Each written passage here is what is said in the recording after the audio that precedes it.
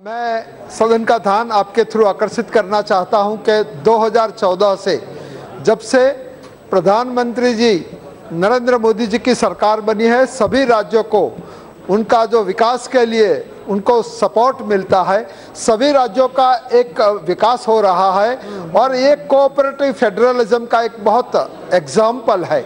मैं गुजरात की बात करूँ तो गुजरात को भी, चाहे वो रेल में हो चाहे सरदार सरोवर डैम हो गुजरात को विकास के लिए चाहे बंदरगाह हो कहीं उनको मिला है।